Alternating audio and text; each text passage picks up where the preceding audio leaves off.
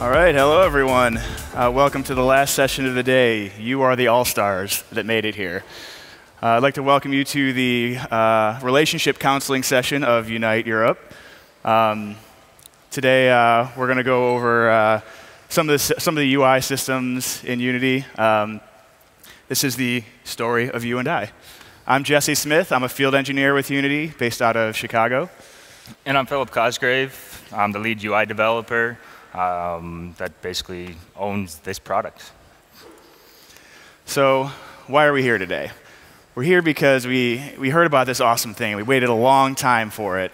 Uh, we, we, you know, we hoped and we prayed and we, we suffered delays before we saw it. And we just kind of imagined what it would be like to, to see it, to touch it, to push its buttons.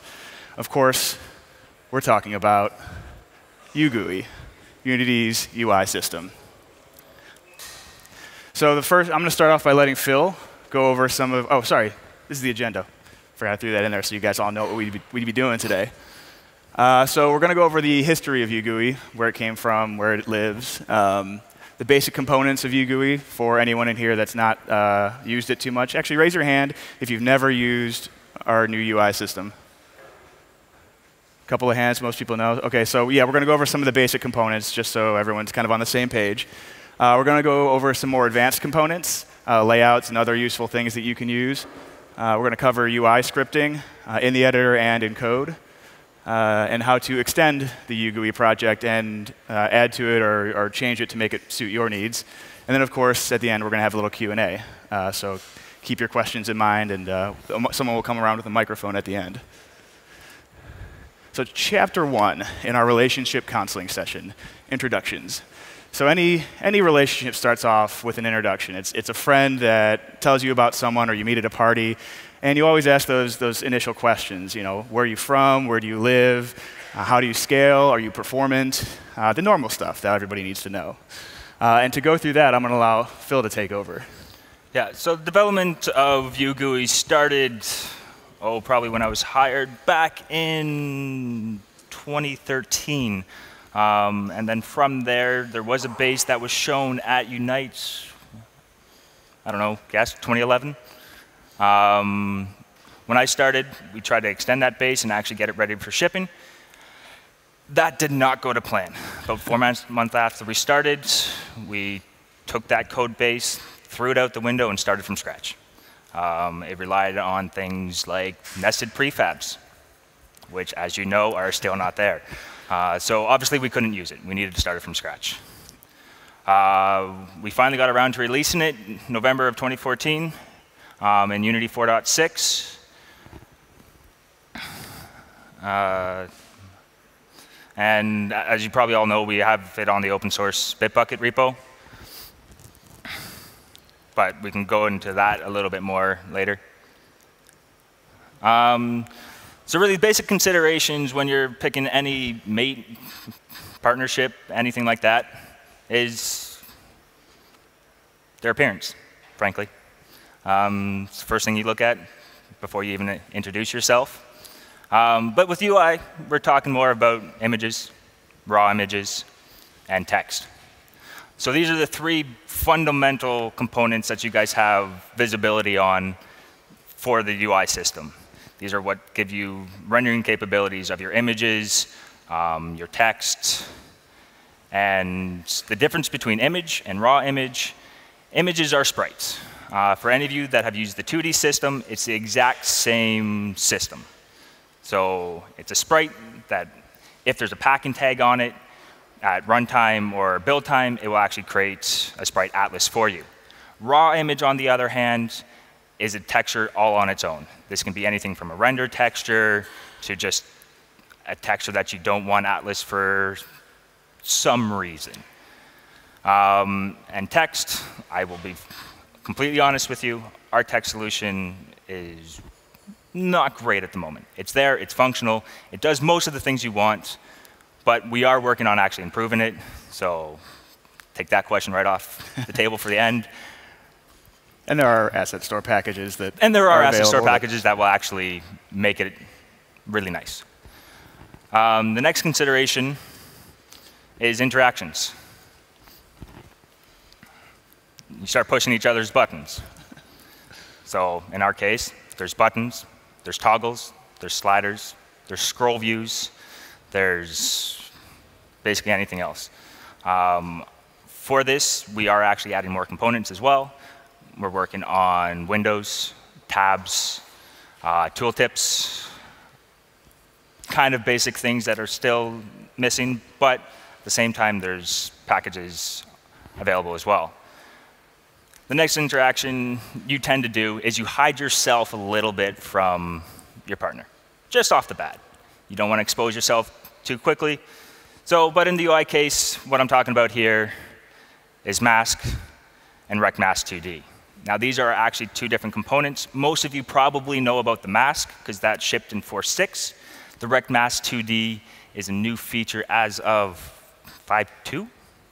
Um, and they are fundamentally different.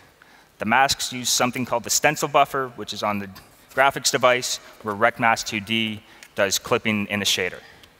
Uh, for performance reasons, RectMask 2D is actually a lot better than mask because a lot of mobile devices don't support the stencil buffer all that well.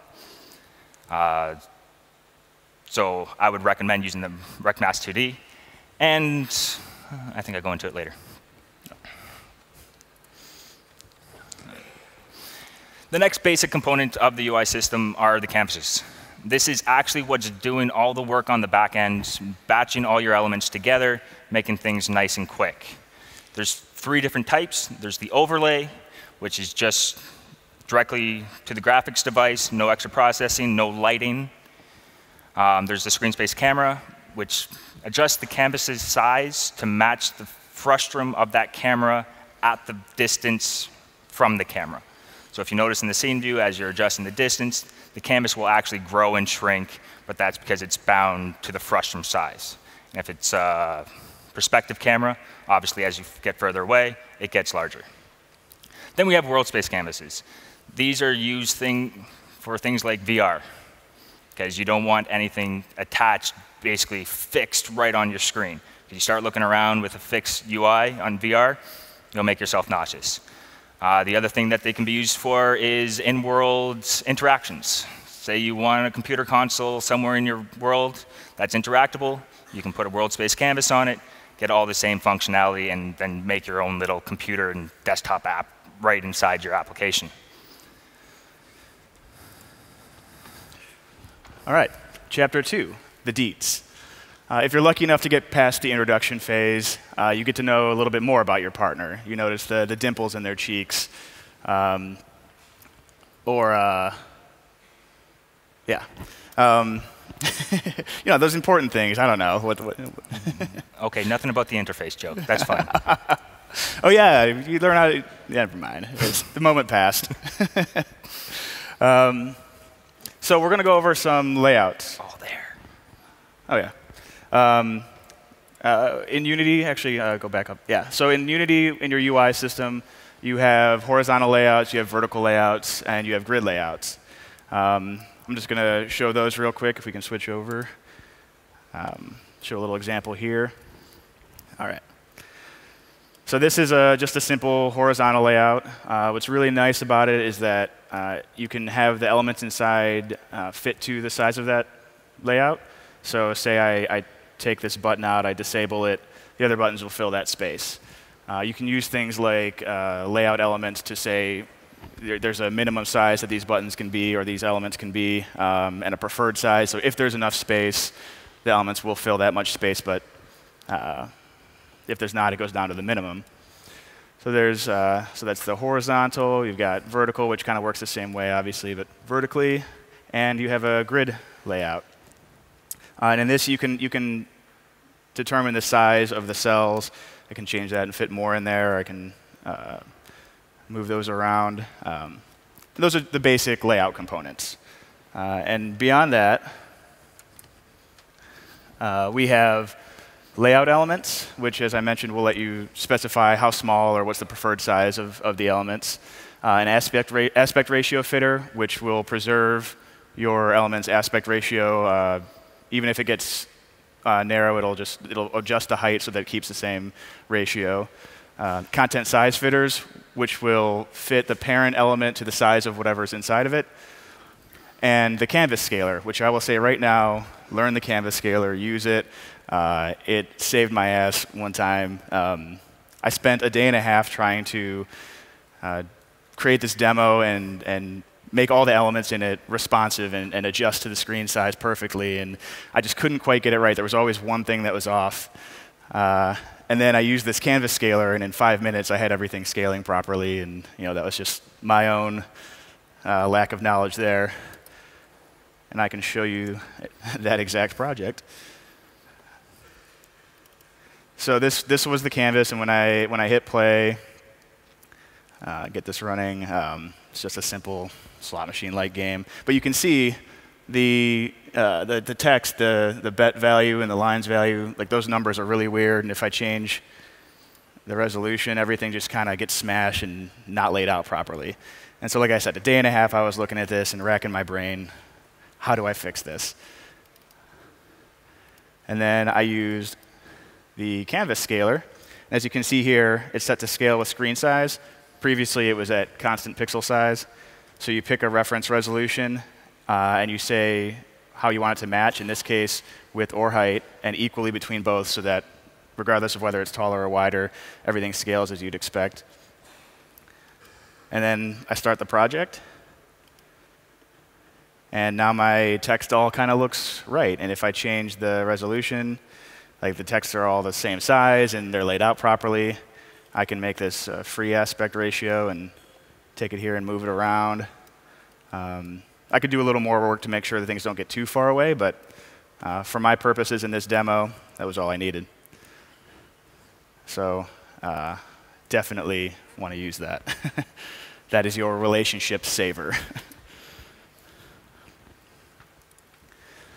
The next thing you really want to know about the UI system is how the rect transform works. And this is uh, because in my teaching it to some of our customers, it took me a couple of times to fully grasp how it all uh, interacted with each other and how all these pieces worked. So the rect transform is made of anchors, which are represented by the little triangles in the four corners, and that's a relative position to the parent, and control points, which define where your element actually is, and that's a fixed distance from, it's an absolute distance from those anchors, and a pivot, which is a relative position to your control points. And that's where all of your uh, scaling and your rotation are going to come from that you see in the inspector window on the right side here. So the main thing to, like the, the phrase that I put together so that I could go to customers and say, okay, this is how you remember it, uh, is anchors are a percentage within the parent element. The control points are a fixed distance from the anchors. And the pivot is a percentage between the control points. As you can see in the inspector window here, uh, you see on the top, you've got your, uh, your control points defined, left, top, right, bottom. And those, those are, see, so 100 pixels. So this, this edge of the element here is 100 pixels from that uh, left edge of the anchors and top and right and bottom as well. And the pivot points, yeah, so and the, um, the anchors are 20% in from the parent element and then 80%, which is 20% from the other side in both directions too. And then the pivot is halfway between those control points, and that's how it all comes together. There is uh, one side case when any of those anchor points are together, uh, instead, it's not left, top, right, and bottom. If, if the x's are together, then it's defined by an x posi position and a width around that position. Same with the y. If the y anchors are together, then it's defined by a y position and a height around those anchors. Uh, so just be aware of that because it actually does look different in the editor. And I can actually show that here.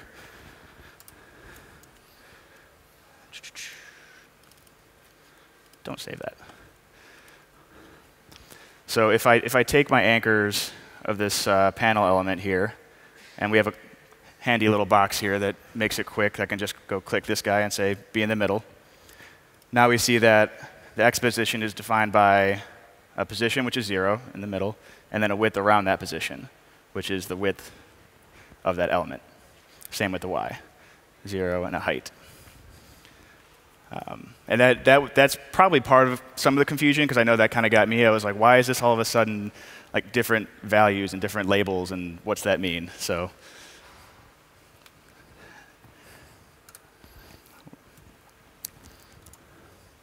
All right, chapter three understanding your partner's motivations. This part of a relationship, this is when you need to know uh, what makes your partner tick, what drives them, what are their priorities, and how do they prioritize those. Uh, and I'm going to let Phil, the relationship guru, take over this one. Um, so the main thing that the canvas actually does is it batches your UI elements together. Um, now, what do I mean by batching? It takes all the same elements that have the same texture and same material, and tries to put them in one draw call if it can. If it can't put it together, it creates extra draw calls, and then too many of those, your performance gets, starts going down. Now, what do I mean by the same texture? Now, remember, images use sprites.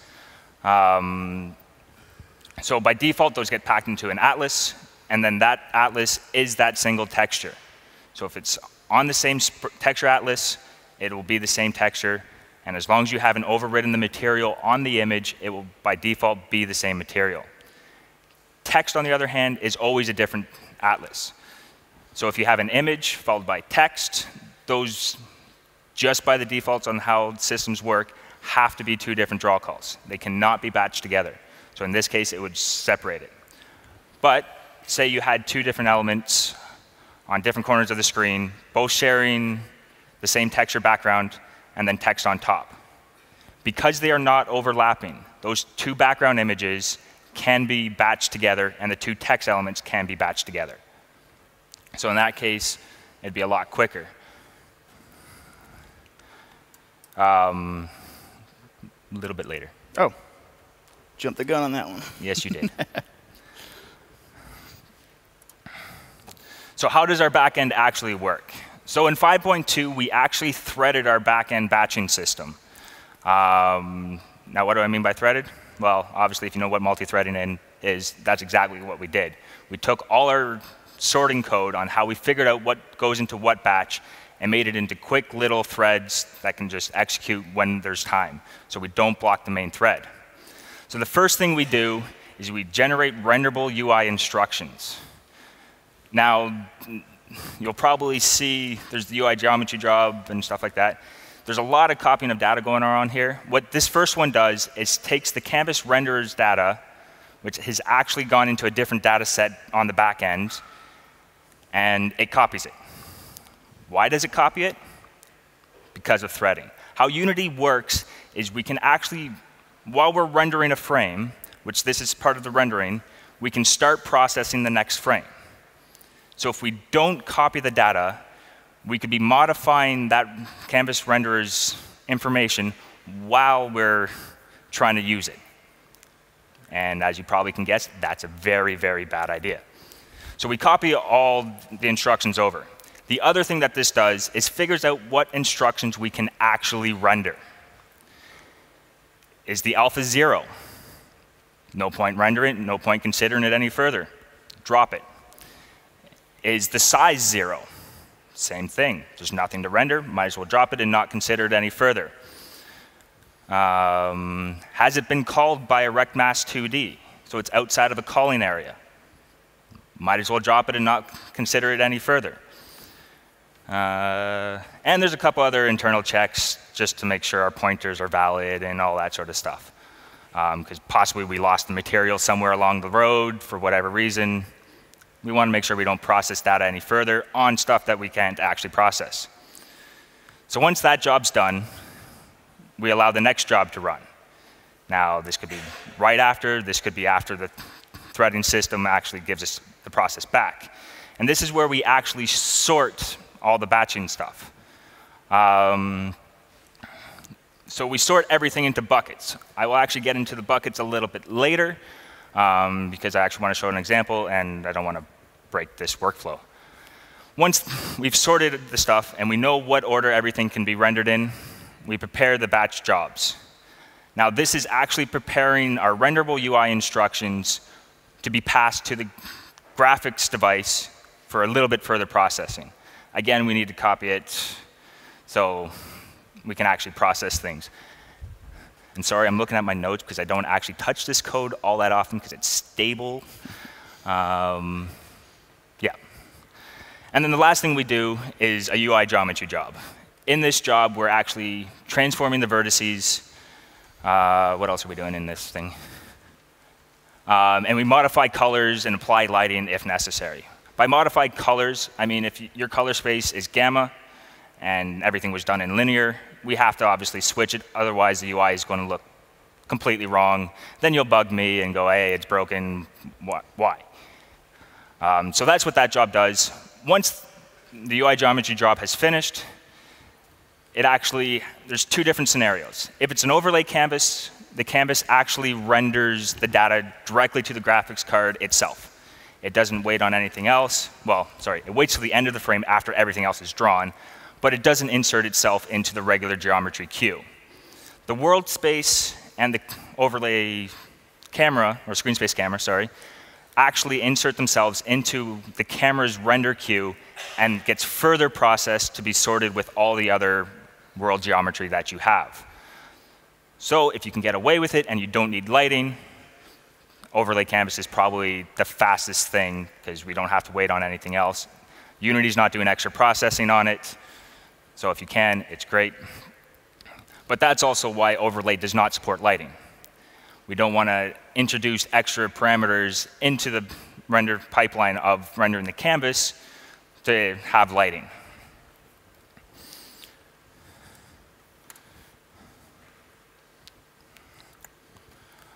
So back to the sorting buckets.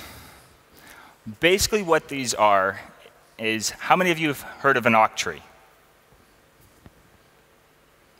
Okay, not very many. Um, so basically, we're not doing a full definition of an octree. It's close, and this is where you can switch the slides. so I'm doing this on the fly, kind of hacking Unity's scene a little bit. So if I create a canvas,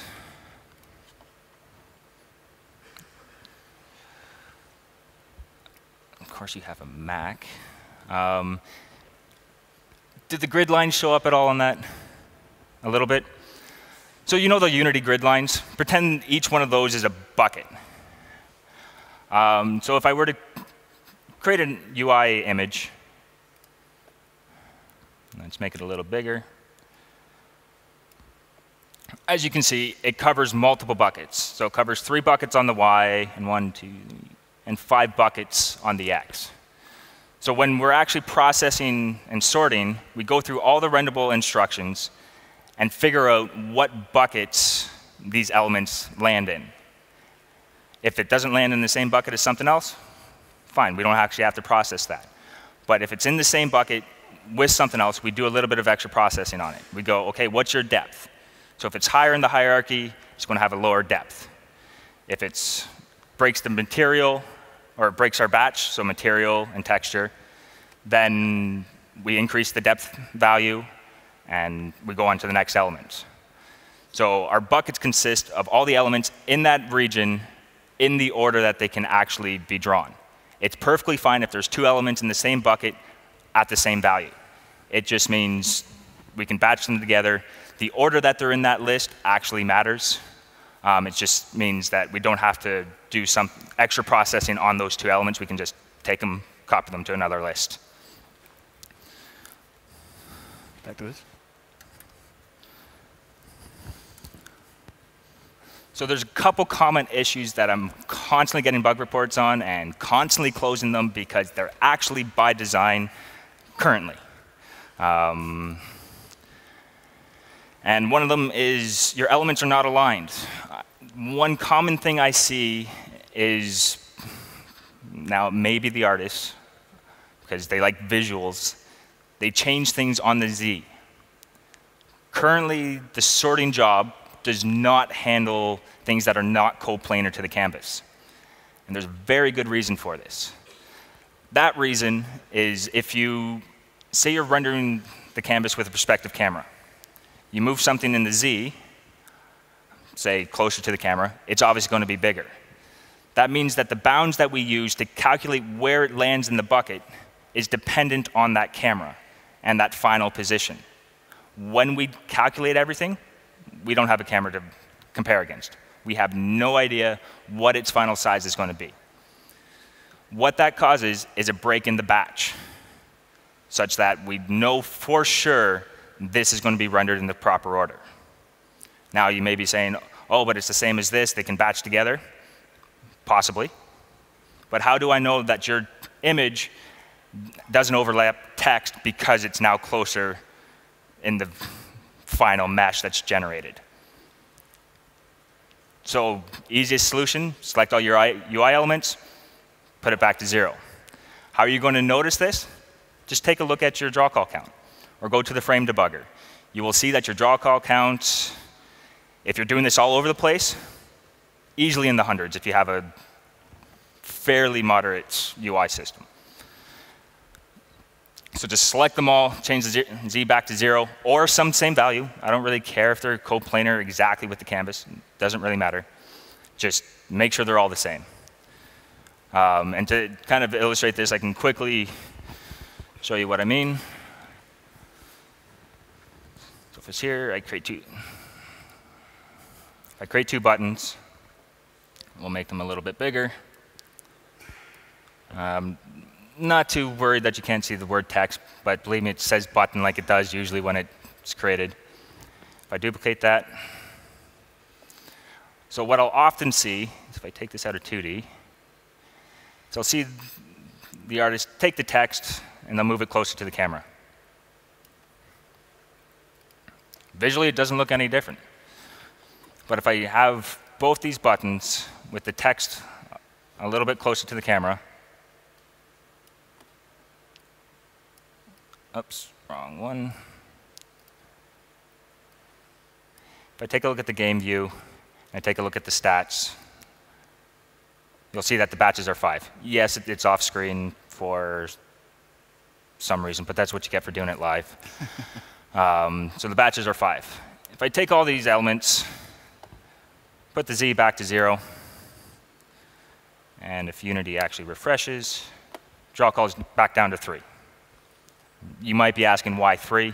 Remember, there's a clear frame, um, and then I think that then there's one for the image, and then one for the text.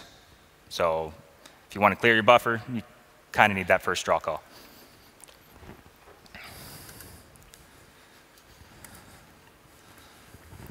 The next most common issue is people like, oh, I'm using the sprites and images, and they should be batching together, but they're not double check that you've, one, turned on sprite atlasing, two, you've actually specified the packing tag as the same packing tag. The other thing to be concerned about is make sure one's not on mipmap or um, I forget what the other properties are. But if the properties don't match, the, the batching or the atlas system creates different atlases, which as you know, different textures, so they can't batch together. So any UI elements should have more or less the same import settings um, and the same packing tag within reason.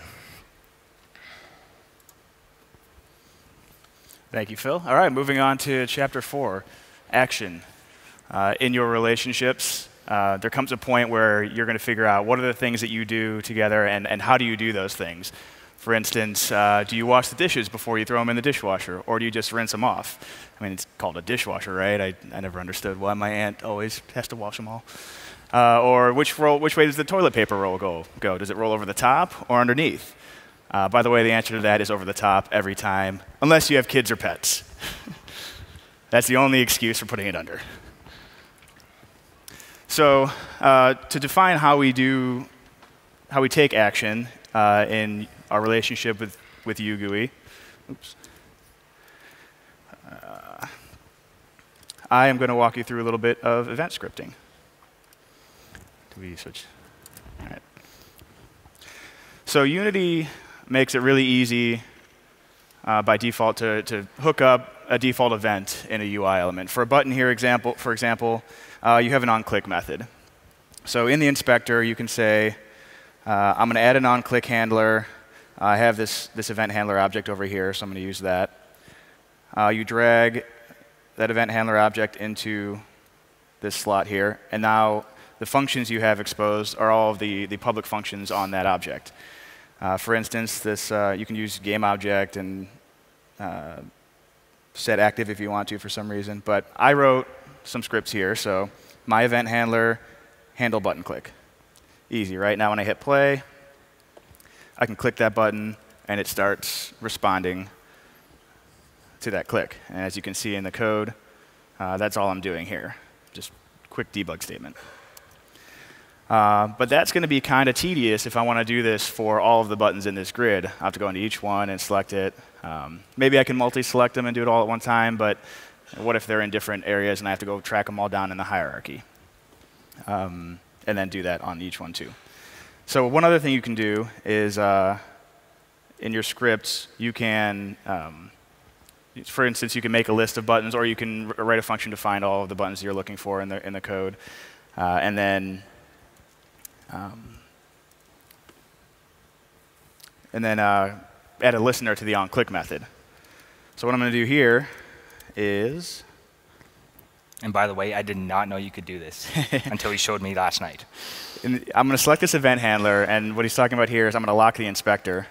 So now it's, it's locked to showing that event handler, so now I can select anything else in the hierarchy, and it's not going to change. Um, you can do that, and you can actually also add uh, another inspector if you want, and that one's not locked. Just pro tip. Um, every time I go to a customer and teach them and show them that, there's someone there that has never done that before, uh, and I hadn't as of like a year ago. It blew my mind. So I'm going to take all of these buttons and drop them into this array. Um, as you know in Unity, if you've ever done this, there's no particular order that I can tell from how it adds it, but in this case, it doesn't matter. Uh, in my script, I'm going to just go through all of them and add a listener. Uh, handed, handle scripted button click, which is going to just output a different debug message. So now I can hit play. And every one of these buttons is now wired up with that event. Uh, and this first button is actually wired up with both of them because I never removed that first event handler in the inspector, or in the editor. Um, so that's how you can wire up a lot of buttons to specific functions or certain buttons to other functions, however you want to do that in script. That's, that's up to you. Um, let's go back to the slides again real quick for the next one. So you can also uh, handle dynamic events. So what, what, I was just showing you was a static event. Um, and that's when you just pass a string, an int, something that you defined, and that value is whatever you've, you've passed it. Uh, dynamic events uh, are things that Unity, that when the event triggers, there's data that's involved in that event, and that gets sent to you. Um, if there's any other detail, Phil, that, you, that I missed on that particular point? Yeah, so if I just quickly go back to the button, um, if I can unlock your inspector. I take a quick look at the button as well, have any of you ever wondered why like the button says onClick with just the parentheses and then if I were to have like a scroll bar, it would say on value changed with single in there. Well, the difference between those is one's the stat, or those are the dynamic values that this function is going to accept. So under the dynamic list, it will only show you the functions that will actually match that parameter call stack or those parameters. Mm -hmm. um, so in the case of the button, no data is being passed to the button, so the onClick method can't pass anything on. In on value, and the slider's on value changed, it can pass the new value to you, so it knows about it, so you can do it that here. Yeah, I'll, yeah, I'll do this. So uh, just to give you another example of that, you can listen for other events besides just the default one. Uh, and to do that, you add an event trigger, and then you click Add New Event Type. And you have a list of all the different event types that you can listen for. Uh, in this case, I'm going to listen for drag. And as you notice, there's base event data, which means that this mm -hmm. event trigger is going to get a class called base event data passed to it from the event system. And when I add a listener here, you can see that there's no, there's no parameter that it's waiting for here because we, have, we don't pass that in. So I'm going to pass the same event handler over to the object here. Uh, look in my function list under my event handler, and you notice that now there's two separate lists. One list for all the static events and one for uh, the, the dynamic ones. and I've written this handle dynamic event in there, and I'll show you that real quick. And the only difference here is that I have a parameter base event data data. Um, and all I'm going to do here is cast that data to pointer event data because I know for drag that's what I'm looking for. Uh, and then I'm going to take the, my button and I'm going to translate it by the delta of that drag. So just before you continue, yep. open up that drop down again and yep. go try to select again. If you notice, both under the dynamic and static is that same function. So if you're expecting that dynamic value to be used, make sure you select the dynamic one. You select the static, it's going to pop up a little box below where you can actually populate whatever object you want to pass. In this case, it would just be a null object, and then you're not going to get the data you expect, and then you come bitching to me saying it doesn't work. we might have fixed that because I actually don't see that, that handler here. I don't know. It's supposed to be there. Let's just put it that way. Um, yeah, so now, uh, where was I here? Um, yeah, now when I play, uh, that first button is the one that I put that on, I think. Didn't I? No, you put it on one oh, I like put it halfway on down. button.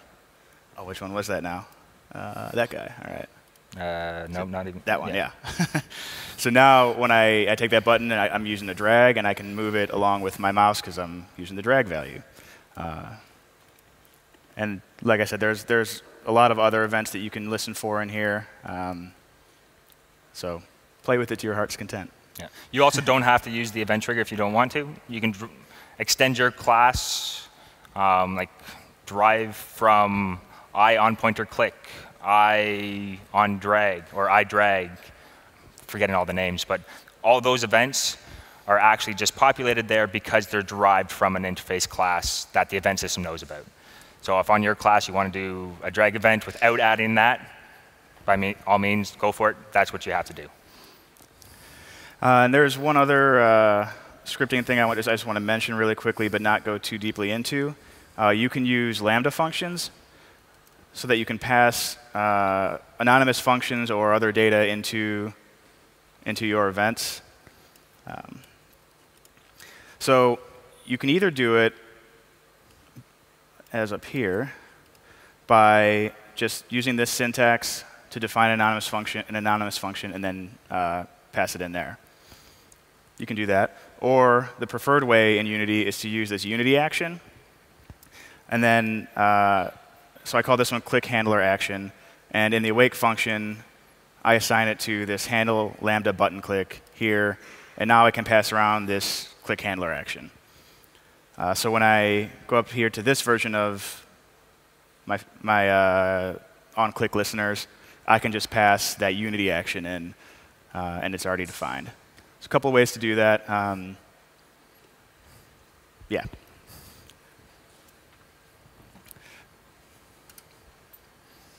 And then, next chapter, chapter five, growing a relationship. Uh, every relationship is going to need to evolve and change uh, and adapt and improve, right? So it's the same thing with the UGUI. Uh, we, there are ways for you to, to fit this relationship to, to your needs, uh, and Phil's going to walk us through that. Um, so as I was saying at the start, uh, the UI source is completely open source. Um, now, by mean completely, native side's not, back end of Canvas, back end of Canvas renderer, hidden behind the DLL.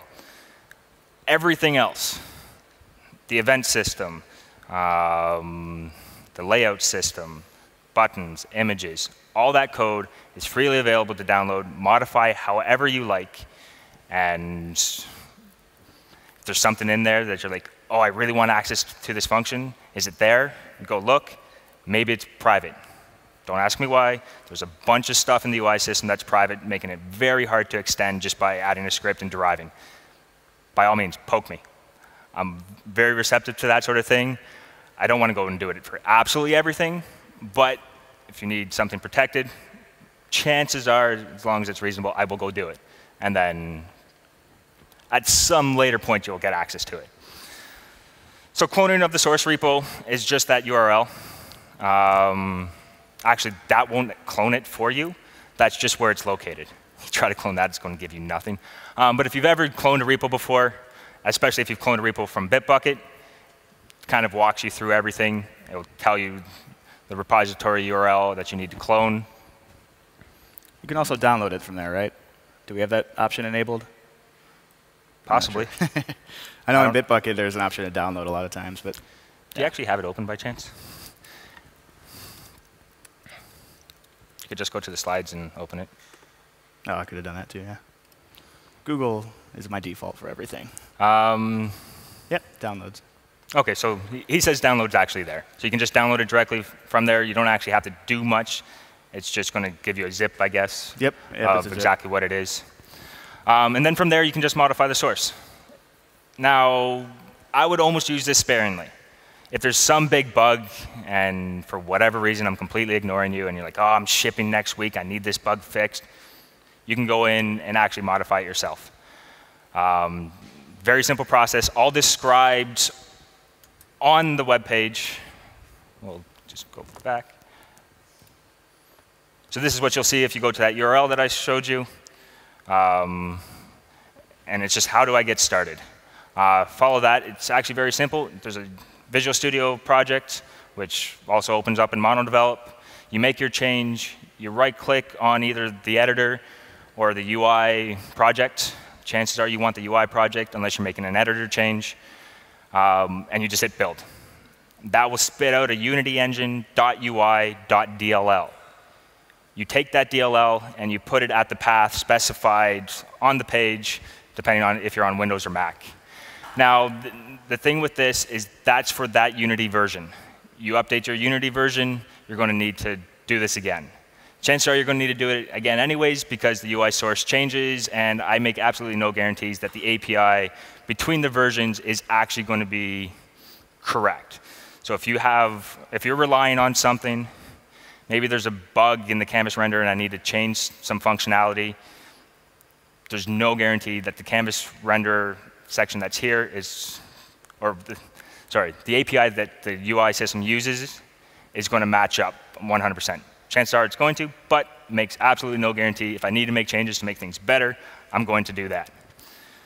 Um, so once you put it in there and you're on that Unity version, it's going to override the default Unity engine.ui.dll. So it's going to be using the one you built.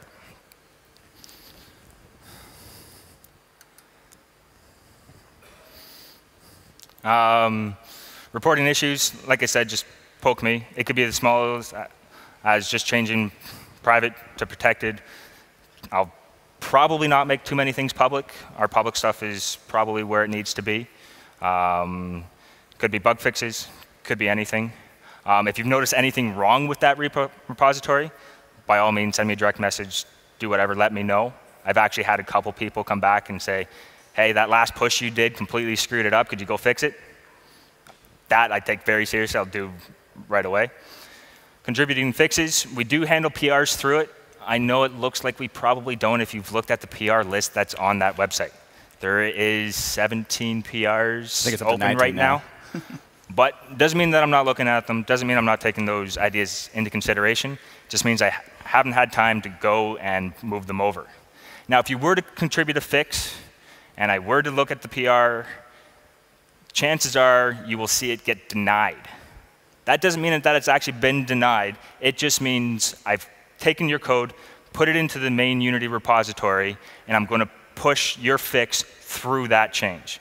I don't want to just put changes into that PR because then it's kind of a merge conf conflict and makes my life easier if I just deny the PR and merge it in a different way. But you include a message that says. Yes, I'll actually I, put a message yeah, saying yeah. it's actually been approved. Um, but if you see it denied and there's no message saying approved, chances are it was not actually approved, but I'll say why. Um, and any fixes that you do contribute, I will actually maintain the right to modify them in any way that I feel necessary. So I haven't actually taken one PR exactly how it is. Three years, I've never done it. There's Unity standards that we need to uphold. There's better practices that we try to follow. All depending on that, depends on the final version that's going to be there.